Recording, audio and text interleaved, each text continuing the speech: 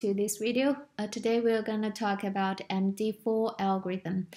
MD4 is a hash function which digests an arbitrary length message to a fixed length bit values which has um, 128 bits. And um, uh, this algorithm is developed by Ronald Rivest in 1990. Uh, it's a pretty classic hash function. Um, but um, actually, this algorithm is totally broken by several attacks, and uh, we we don't want to use it in real life. But we still want to talk about it because this algorithm laid the foundation for several popular hash functions like um, uh, the SHA-1, the MD5, and also the uh, RIPE-MD algorithm. Um, so let's see how this algorithm works. Uh, first, we're gonna do some initialization. Suppose we have a message which has b bits and we write it as m0, m1 until mb minus 1. And the first step, we're gonna do some padding. So we um, add the 1 bit and several 0 bit after the message now the message becomes b prime bits. Well, b prime is equal to 448 modulo 512.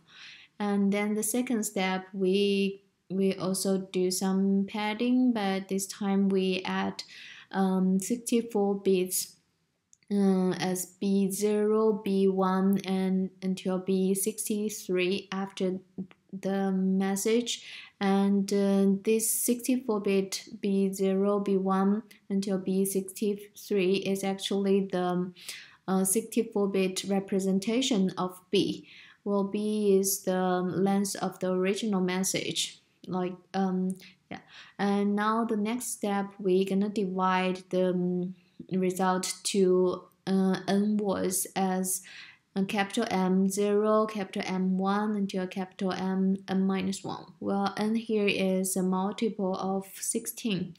And um, on the next step, we need to use uh, four uh, MD buffers A, B, C, D. Each of them is a 32-bit register, and here we initialize each of them as these values here and also we're gonna save these initial values as A0, B0, C0, and D0. Now we have done all the initialization. Let's see how we gonna use these buffers to process the message here. And um, the process will be like this. So we're gonna need 48 rounds of processing. And um, this 48 rounds is actually um, consists of um, 16 uh, 3 16 rounds. And um, for all these rounds they have the similar process but with different um, details. Like we set the parameters differently and use different functions. Uh, let's see the first 16 rounds. Mm, and uh, like this is the uh, one round of the 16 rounds. So for the um, for this round we have the four buffers a b c d. And uh, first we're gonna use a function f here to take b c d as input and uh, get the result. And then XOR it with the um, value in buffer a. And then we XOR with the message mi and then we XOR it with the constant ki here and get the results. And here we need to shift the result by s bits to the left. And now we get this value here and we put it in the register B. And well um, the register the values in B will um, shifted to C and the value in C will shifted to D and the value in D will shifted to A. And then we're gonna start another round of these uh, calculations. And uh, so we will run 16 rounds of this operation and let's see the details.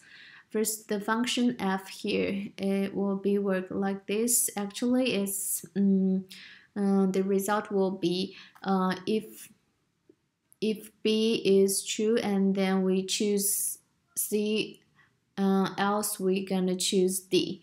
And so and for each round, we will use the message m uh, uh, from M0 to M15 in these 16 rounds.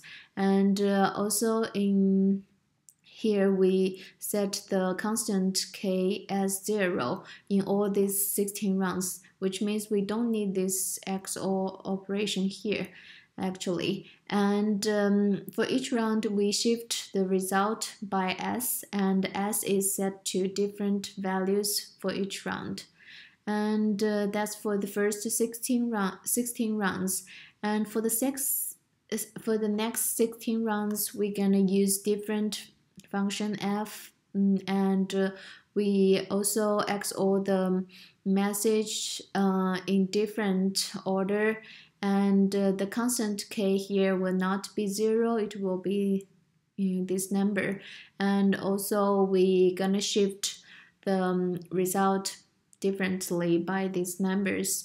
And um, um, for the next 16 rounds, we also use different functions and uh, set different parameters.